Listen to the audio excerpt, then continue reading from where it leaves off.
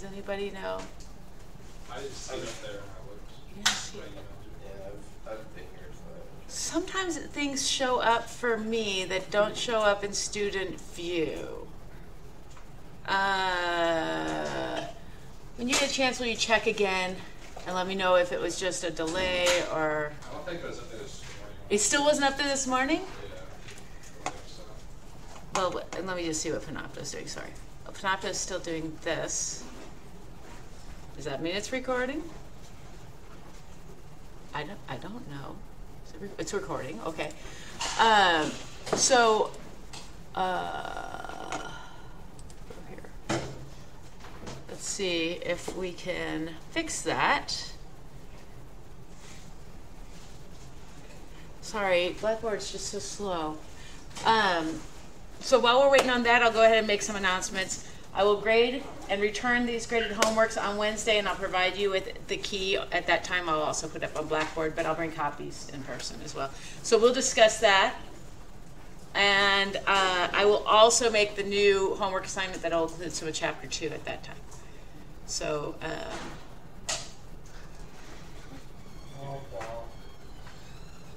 Okay.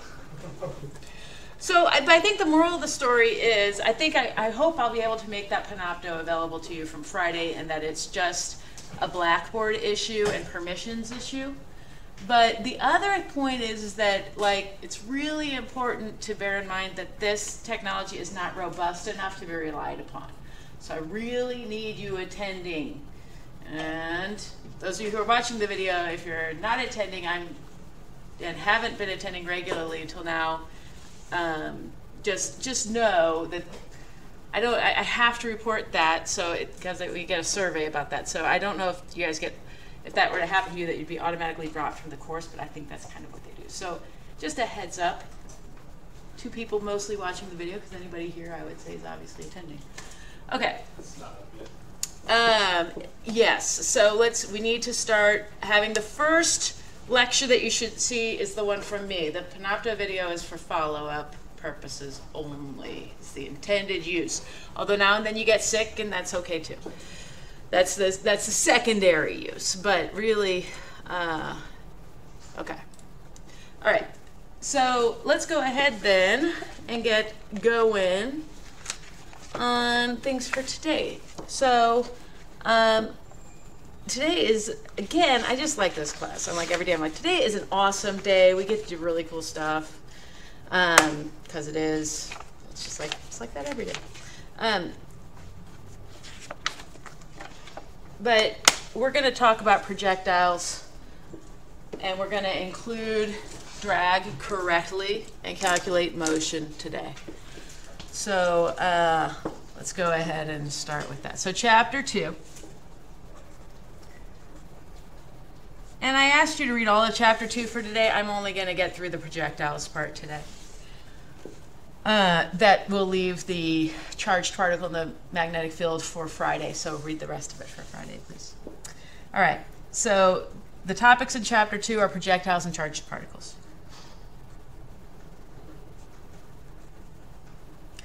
Rodney, would you hit that light?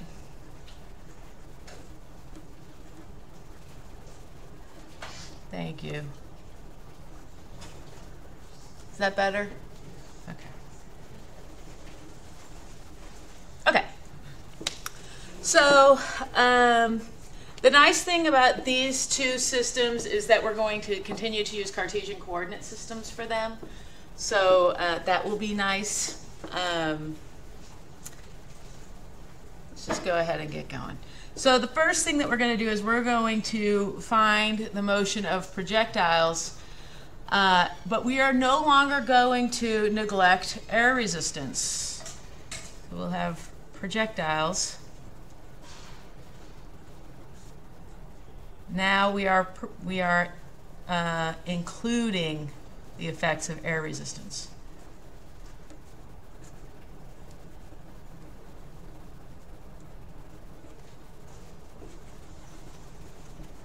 All right.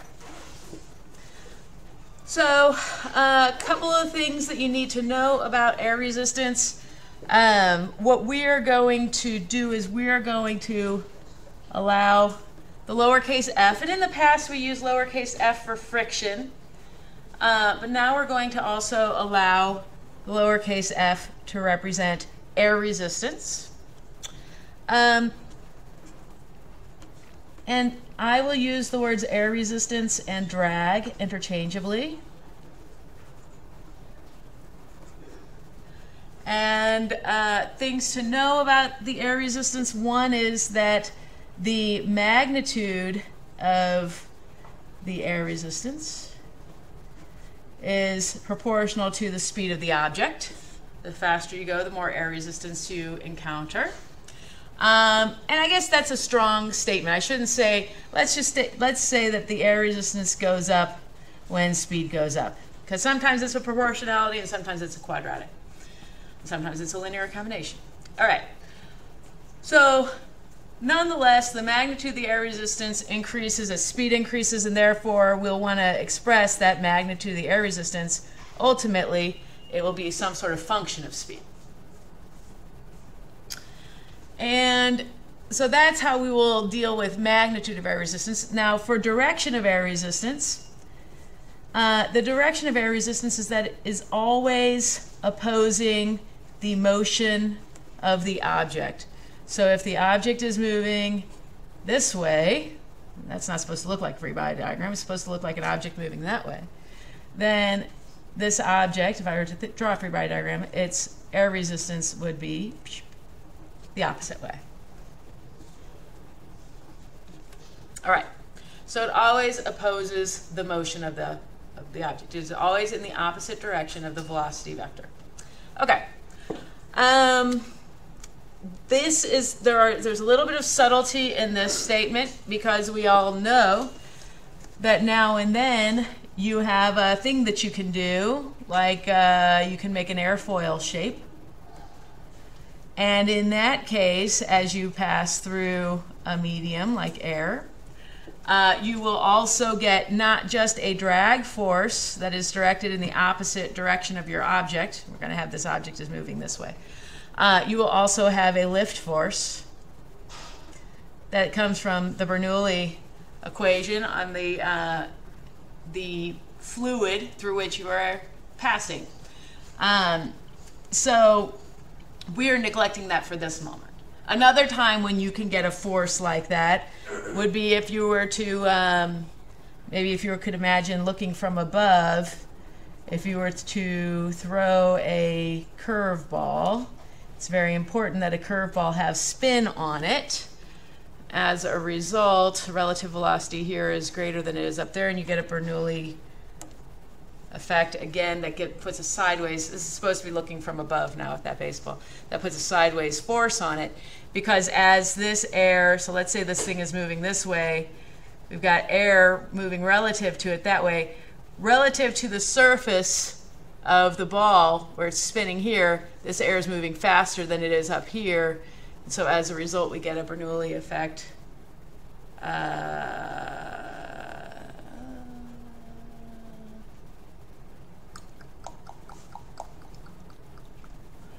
sideways. Let's put it at that, sideways. All right, so we're not going to let things spin and we're not going to let them be shaped like airfoils right now. We're not going to call those things necessarily uh, what we're interested in today. So, okay. So what we're going to have today is we're just going to have maybe something spherical without spin that is maybe, you know, released into the air with some initial velocity, v naught, and at that moment, I can draw a free body diagram for the object. It would have its weight acting downward. And remember, in a free body diagram, the direction of the force is represented in the arrow. So I usually just label it with magnitudes. Um, and so now that I have the velocity going that way, I will have the uh, drag going, and I don't need that going right there in my free body diagram. And that's not an F dot, that's just an F. Sorry about that. All right, so that would be the type of situation I'm talking about where you have a free body diagram like that. Okay, so um, we're going to talk, let's talk first about that magnitude of the friction force. Um,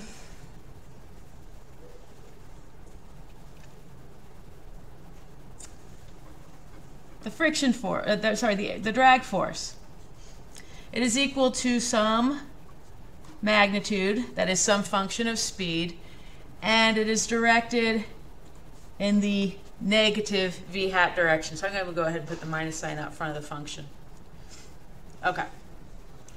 And what you might want to know is, well, okay, that's fine and good, except what is this magnitude? And at low speeds, we will have two dominant effects that will give us two terms. And those terms for magnitude of the drag force will be a constant times the velocity plus a different constant times velocity squared. All right. And, you know, your uh, author chooses to call this first term f sub lin for the linear term, and the second term f sub quad for the quadratic term. And they are physically from two different phenomena. This guy here, this linear term, he comes from viscous drag that occurs around the edge of your object. So if you look at your object cutting through the air as a cross section, it is the perimeter of your object along which that friction force is acting. Okay, so this is the viscous drag that occurs along the perimeter of the cross section of the part of the object as it flies. So uh, let me write out those words. Viscous drag.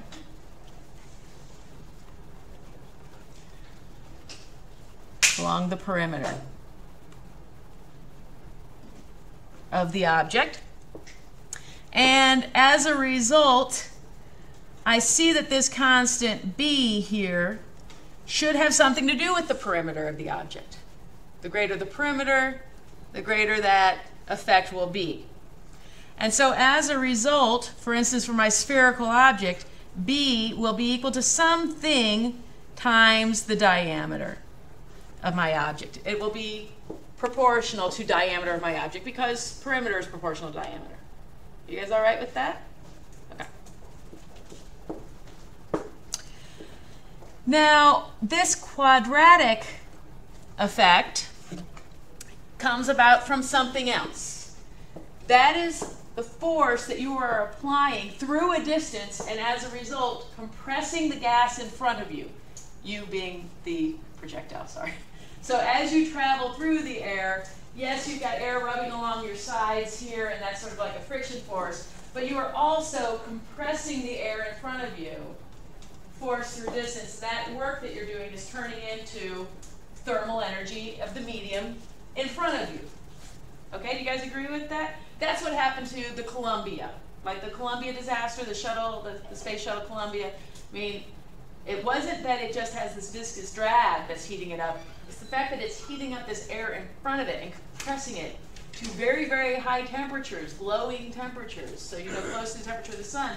And you need to be insulated from that compressed air, or else you will also get to that same temperature, which will probably be above your flash point, and there could be, you know, fire. Okay. So anyway, so that phenomenon where you are actually doing work on the medium in front of you is what this drag term is. All right? So we will say that this is the force that is required to compress the fluid in front of you.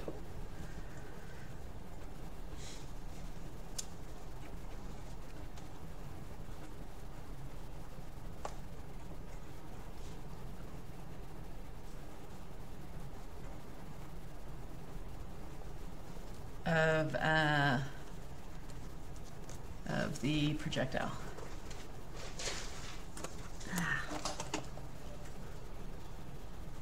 Sorry about that. Okay, that says projectile. Okay, so uh, as a result, that factor that must multiply the v squared is not proportional to the diameter, but it's proportional to the area, because you're using that area like a piston to compress that medium in front of you. And so it goes as d squared. And the constant that we'll put out front of the d squared, we'll just call it gamma. And again, if you were to evaluate this full term in terms of that rate of compression and what that force must be, you would also get this v squared out. Okay. All right, so that's my sort of hand waving argument of the two terms that we are going to include for right now. All right. They still are, are this expression is a good approximation still for, for what we'll call low speeds, meaning we don't want to start thinking about uh, things that involve turbulent flow of resulting turbulent flow of the medium at this time. Okay. Anyway, because then we'd have different terms in there. All right. So what do we? Oh, so what are these values of beta and gamma? Uh, your book gives you one important example, which is for a spherical object moving through air that is at standard temperature and pressure, meaning zero Celsius, uh, one atmosphere. So.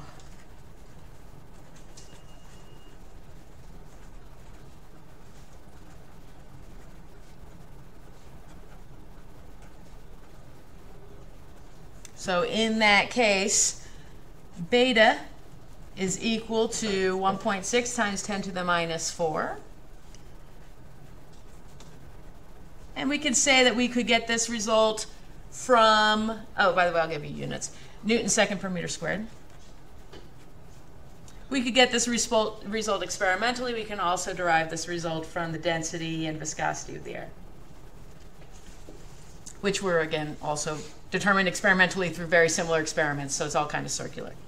All right, and uh, gamma uh, for STP air is 0.25 newton second squared per meter to the fourth.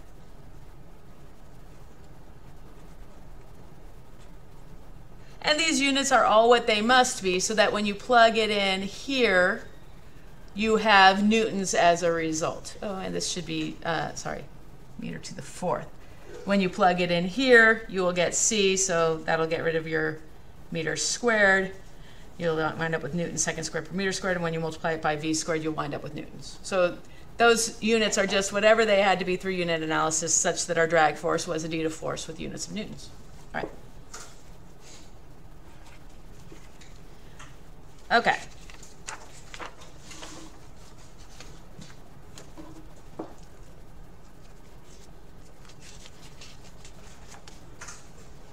Now, a lot of times, you're not going to have to include both terms. The vast majority of the time, you won't have to include both, both terms. That's why when you were in your calculus-based introductory physics, you did some problems sometimes you know the drag went like v squared and sometimes it went like v but you didn't use this linear combination that's because there's a very small time uh, region of cases where that where you'd have to include both of them usually you only have to include one of them so uh, in order to determine what you need to include in that expression for magnitude of the drag force, which you will need to do on your own given whatever physical situation is that you're thinking about, you'll have to think about this ratio.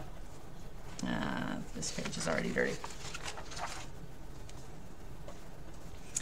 The quadratic term of the drag force divided by the linear term of the drag force. Okay, and so CV squared, just from here, divided by BV, also known as uh, C, which is gamma D squared,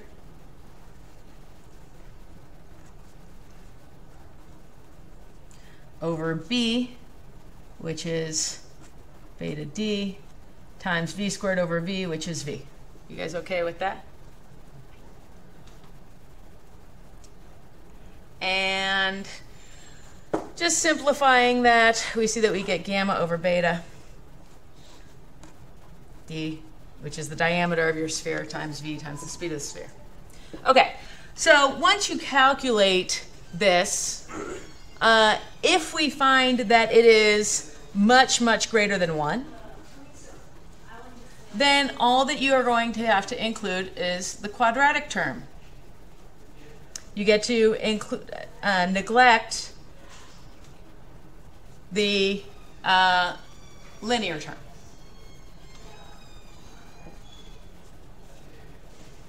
How's that? F quad is just equal to F.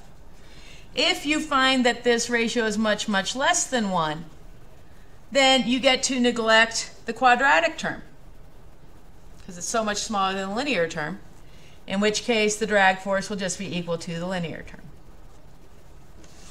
All right? Yes. So what is much, much greater and much, much less than one? Well, that's the thing. I mean, your effect will be, you know, if you find that there, that one is say 10 times the size of the other, then you're neglecting something that's the order of 10%. That's probably not a great time to, to do that. But usually you'll get numbers that are like 100. And so in that case, it's going to affect your third sig fig, but, and so your answers will have to be limited to two sig figs. But then in that case, then you have a good, a good approximation there. It's all about the level of accuracy that you need in your calculation as well. Is there a question over there? Okay. Um, and so I again, your your author does a fine job. So I'll do as this as briefly as I can. But the ratio for a baseball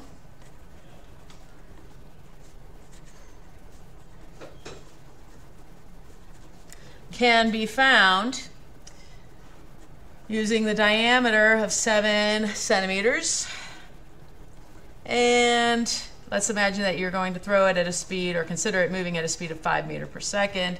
In that case, the ratio is, I will just plug in gamma point, we're imagining throwing it through the air now. So we got 0.25 divided by beta, which is 1.6 times 10 to the minus 4. Uh, I guess uh, maybe I should go ahead and uh, just go ahead and note that the ratio of those two things is 1.6 times 10 to the third. That's just gamma over beta that I substitute for. And then I'd have to multiply by my 7 centimeters. And these are in MKS units, so I went ahead and left the units out. That only works if everything else is in MKS units, so my diameter has to be in MKS units, which will be 0.07 meters. And my velocity has to be in MKS units, which it already is, 5 meter per second. So let's remember MKS units are units that are made out of meters, kilograms, and seconds. All right. And when I do that, I find that I have a value of 560. And what I will do in that case is I will just use the quadratic term because that will be good too within a, you know, 1 560th or so. Oh, it might be off by on the on the fourth sig fig, but that's all. Okay. So in this case, I would just use f is equal to f quadratic.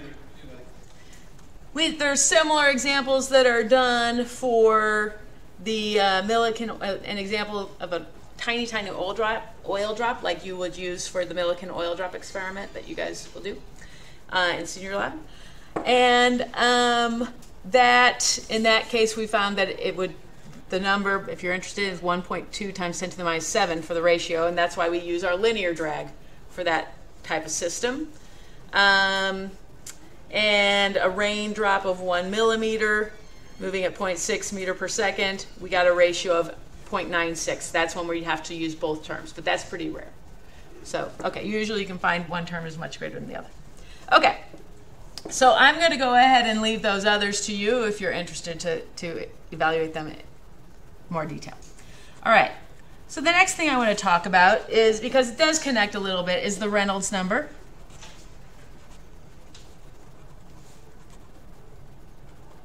Now, this Reynolds number has to do with the medium. So, um, we've dealt with this or, uh, in my calculus-based intro course, but if you didn't, that wouldn't be that unusual. Uh, the Reynolds number uh, is equal to the diameter of the object that's traveling through the medium times the velocity of the object times the density of the medium divided by the viscosity of the medium. So that lower that thing in the denominator there is not an n, it is an eta, and it stands for viscosity because you can't use v for viscosity, too many v's. All right. So I'll just notice here that eta is viscosity. All right. So another way to look at this is not that the object is moving through the medium, but maybe you want to look at it from the frame of reference where the object is at rest and the medium is rushing by the object. That would be sort of the point of view in which the Reynolds number is looking at this. The diameter of the thing that's in the way of the medium, yeah, Would this hold true for flow in a duct or a pipe? absolutely. So moving, moving through a, um, an opening, it's the exact same expression as moving around an obstacle. Uh, so it could be the diameter of the obstacle or opening times the velocity of the fluid relative to that thing times the density of the fluid divided by the viscosity of the fluid. And what we found, what's it's kind of interesting, is that this Reynolds number is also approximately equal to this ratio from above.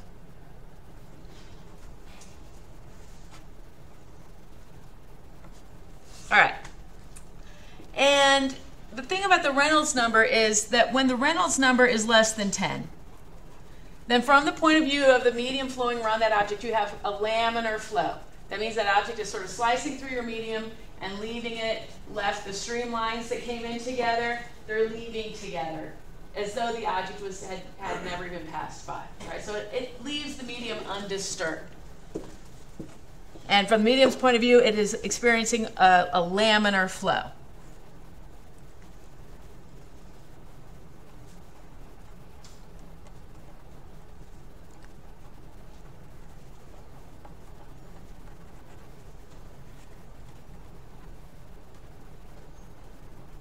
Okay? And if you get to Reynolds numbers that are very high, so uh, maybe 10,000 or so, kind of trying to, let's say over 8,000.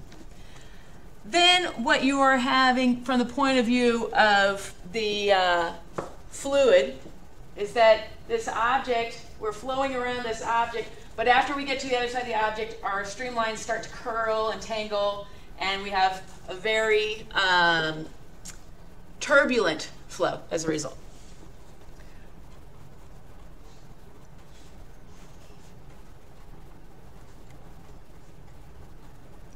And we can have some, oh, sorry, we can have some very interesting effects on the drag force as a result of that.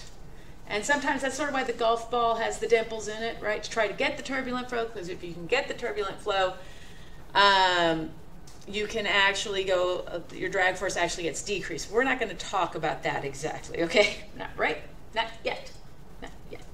We're going to talk about times when we have linear and quadratic drag forces, and we will just build and build and build. All right, we're going to start here. Okay.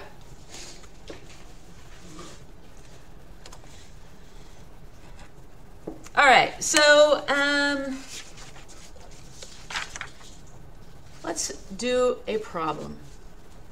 So the most general problem um, that we're going to work on for right now is the linear air resistance. We're just going to start with the simplest mathematical problem and move on from there.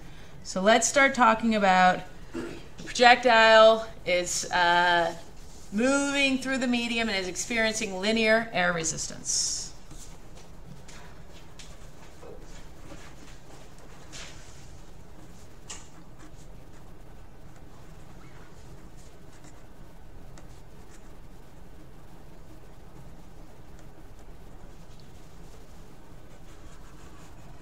All right. So in that case, what I mean by linear air resistance is that the magnitude of the drag force is just equal to the linear term, to a good approximation. In that case, let's say I have this object here moving through the air like so. This is its velocity vector. All right.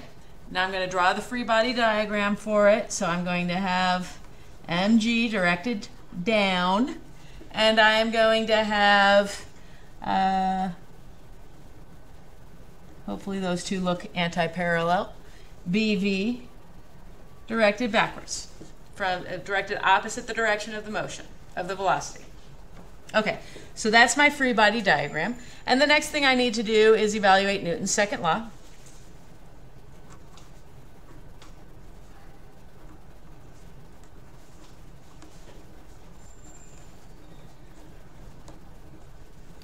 All right, so I'm going to do that using Cartesian coordinates.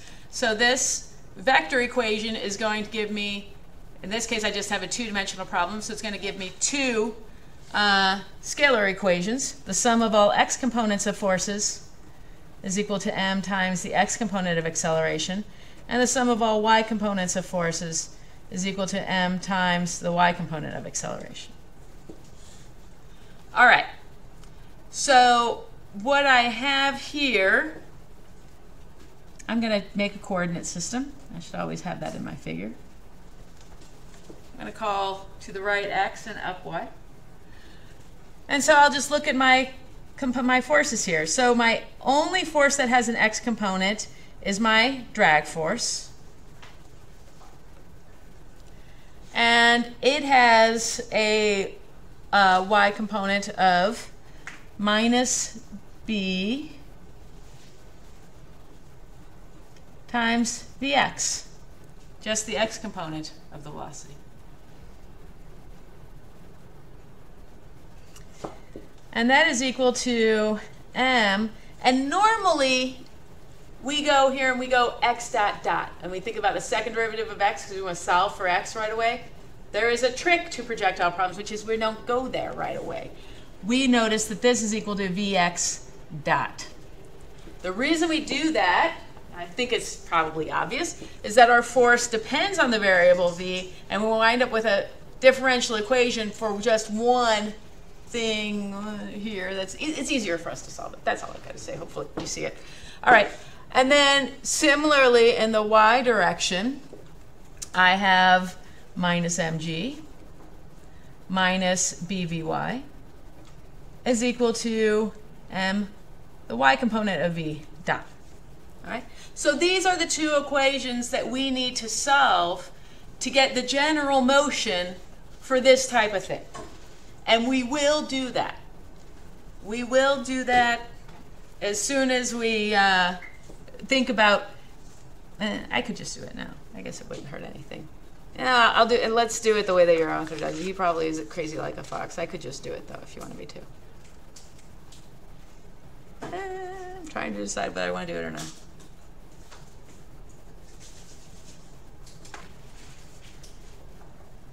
We'll come back here and we'll plug in the rest in a moment. So take a break and we're going to move on to a slightly different topic. So later on we're going to finish this and I'll come back to that in a moment. First, the reason I'm going to come back to it is this is a two-dimensional problem. Maybe it'd be better to start off with a one-dimensional problem. So put a pin in that. Let's think about a one-dimensional case.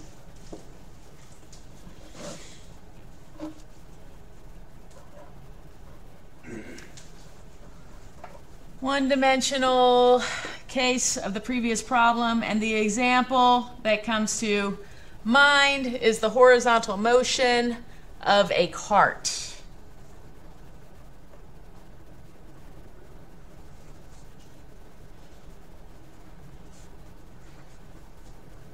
Now, a cart is something that's big enough, and we're actually going to have it moving slowly, but a cart is bigger, so generally that will have a linear, uh, a more dominant linear term. Um, also, things that are moving through a more viscous material because of that um, uh, beta term will have a more linear. So, like even if you had something that was moving um, in a way that would be quadratic in the air, if you had it happen through molasses, that motion would, would probably have a linear type of drag force. Anyway, okay. So we're going to consider that we've got a cart that is moving along, and he's rolling along the rails like so, all right? Rolling along. And let's say it started off with some initial velocity, and then you just sort of let it roll after that. So initially it's moving with some sort of v naught x. All right. And if I were to draw a free body diagram for this object, it would have its weight down, it would have its normal force up, and it would have a drag force backward. Now, this object's not sinking in, not jumping out. You can evaluate Newton's second law in the y direction to find that the normal force is equal to the gravitational force. There is no net y component of force, and that's a trivial portion of the problem. So let's talk about the more interesting part of the problem. So, which is the x component part of the problem.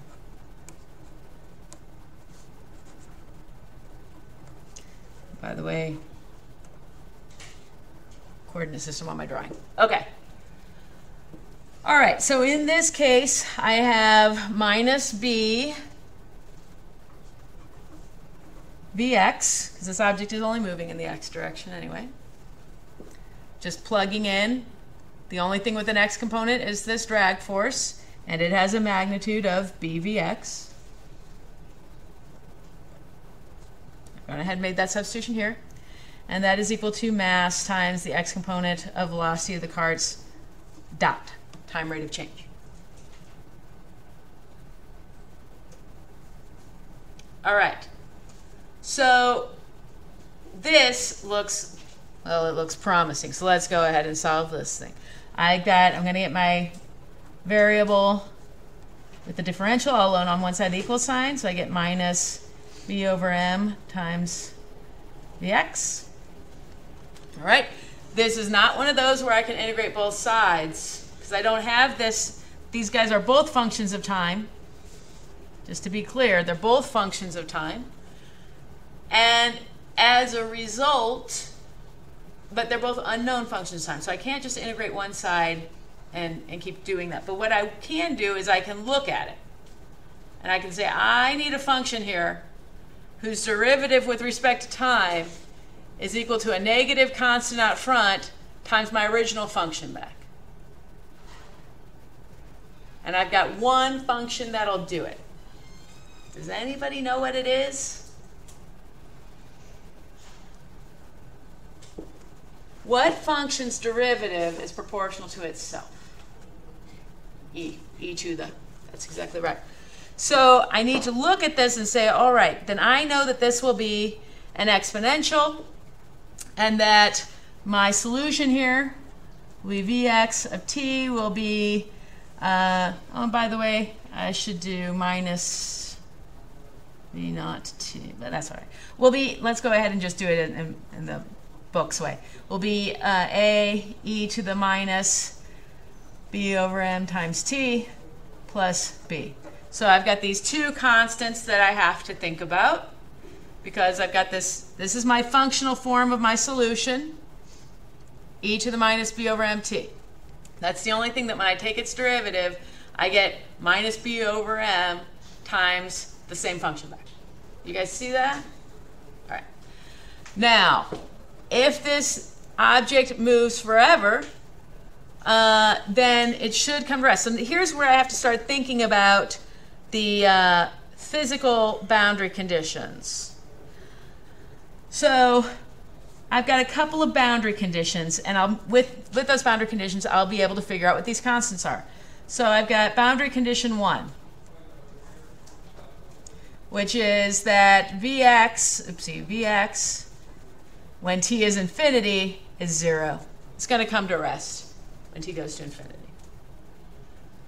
So it must be and I can plug in in this equation that 0 is equal to, as t goes to infinity, this will be 0 plus b, which tells me that b must be equal to 0.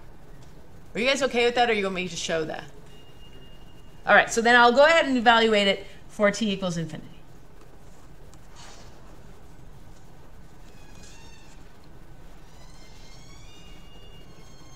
t is going to infinity plus b.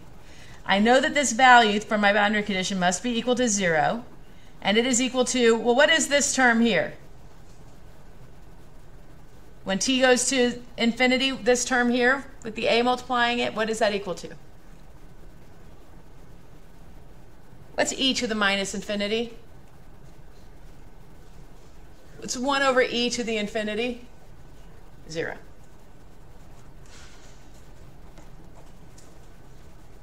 So evaluating that boundary condition determined that my constant b must be equal to 0.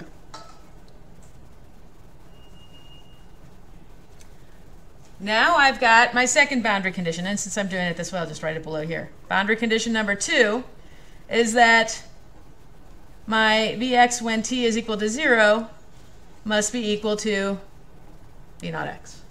So that was sort of given. So then I plug in. For Vx at t equals 0, I've got v naught x, and that is equal to a times e to the minus b over m times 0, plus b, which is I've already figured out is 0. So that's all I've got. And e to the 0 is 1. So I wind up with v naught x is equal to a, or a is equal to v naught x.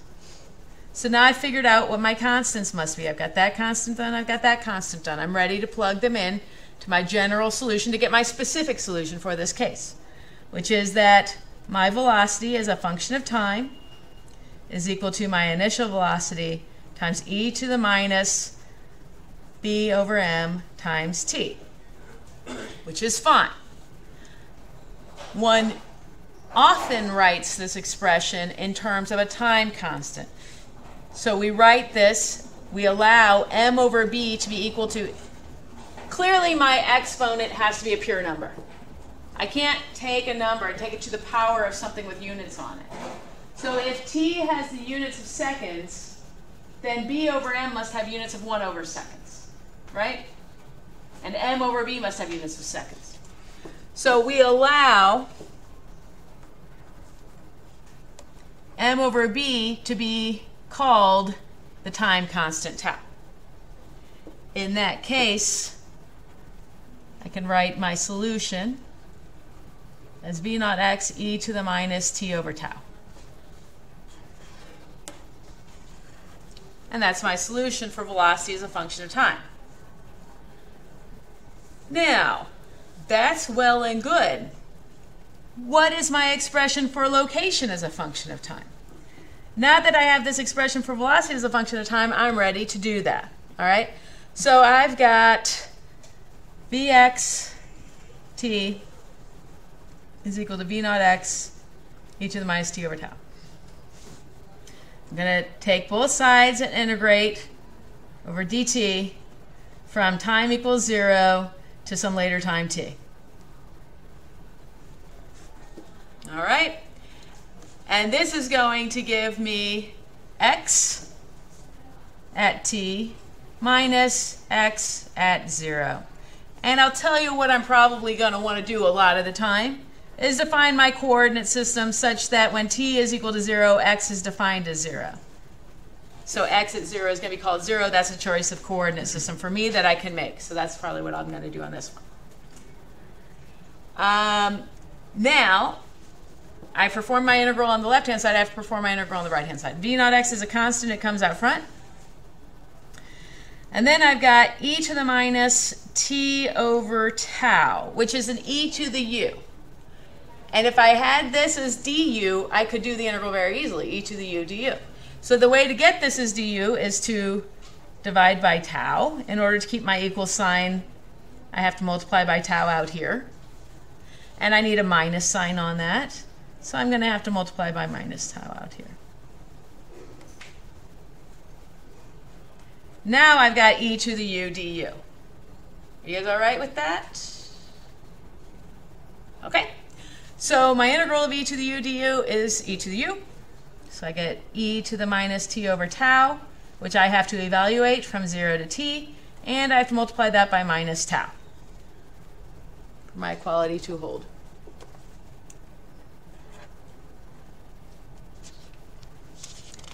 So my final expression, not quite there yet, but I'm close. x is a function of time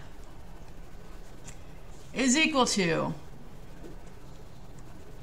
v naught x times negative tau times e to the minus t over tau minus e to the minus 0 over tau, also known as 1.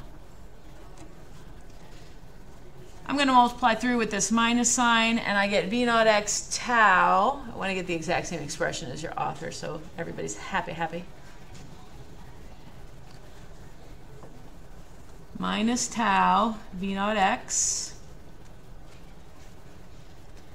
I don't want the minus sign anymore, do I? No, I don't want the minus sign.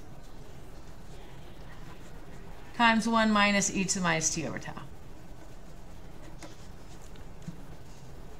And you can also remind yourself that tau is equal to m over b, if you want. That was a definition we chose before.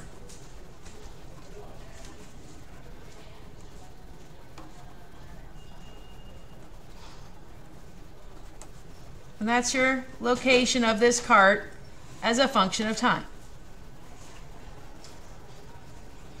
Okay. So I am almost out of time. Where does the cart wind up? Where will it be located in the end?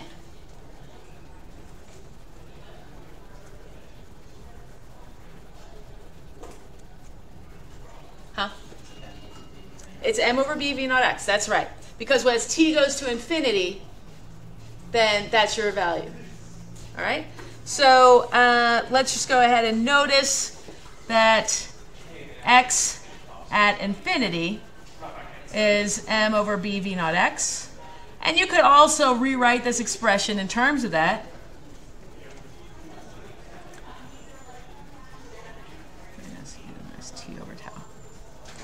All right. Um, and I think that's that's a fine expression as well, just reminding ourselves that that tau is m over b. So next time we will do the y, a problem that relates to the y motion in the y direction, and then we'll take those two solutions together, and this will that will make our motion to that will allow us to solve for our motion of the projectile. All right, so I will see you all on Friday. Have a good rest of the day.